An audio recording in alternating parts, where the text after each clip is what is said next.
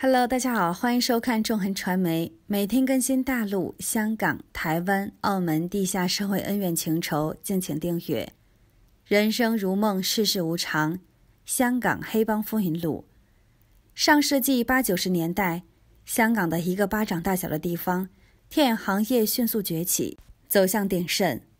鱼龙混杂的香港影坛下，涌动出各方派势力，造就了香港一代风云传奇的江湖人物。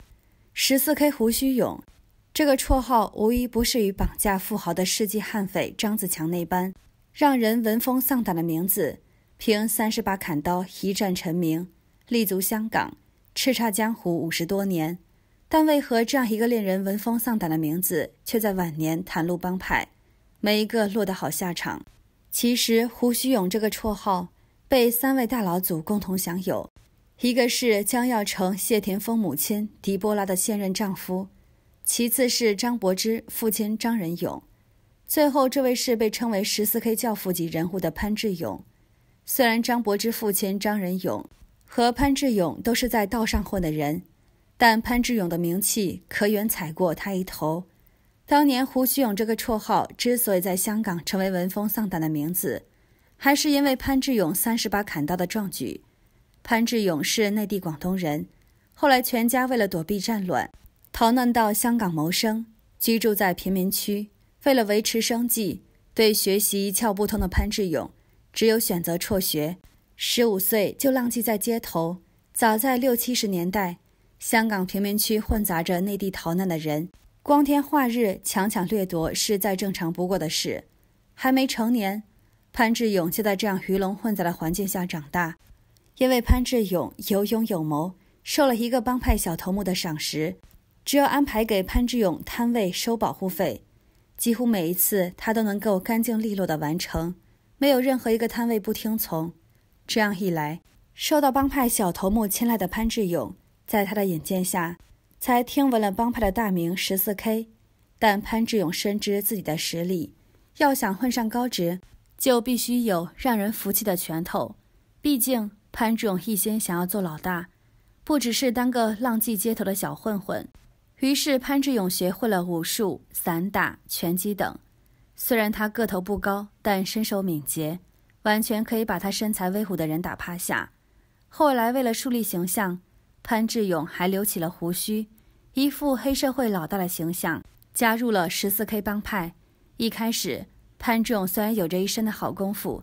但毕竟他只是一个刚进门的小弟，受不到重视，也没有什么薪资待遇，勉强混口饭吃。但潘志勇命里注定能成大事，只是缺少一个机会。然而这个机会随着时间的推移，潘志勇那一件震撼整个香港的事情，悄悄地来到他的身边。到了七八十年代后期，大批的内地人逃难涌入香港，在这其中夹杂着从内地混进的帮派势力。一群在香港无依无靠的内地人迅速抱团，形成一个强大的内地帮派圈，这无一不在打击着香港本土的帮派势力。内地帮派圈丝毫不顾及香港帮派的面子，肆意收取保护费，强抢掠夺。这样一来，破坏了香港江湖上的很多规矩。但由于他们强大的帮派势力圈，那股力量非常强大，散落在香港江湖上，各个小帮派压根儿都不是他们的对手。对他们不敢轻举妄动。然而这时，一直在帮派底部、始终没有任何出路的潘志勇来了兴致，萌生出只要击败内地帮派圈，他的翻身日就到了的念头。潘志勇为了打响这个翻身仗，可以说是下了不少功夫。先是在经常受到内地帮派圈压迫的麻将馆看场子蹲点，还在麻将馆的门口又装了一扇电动门，备好了三十把砍刀。潘志勇带着小弟们一蹲就蹲了三天三夜，老不见内地帮派的那一群人的身影。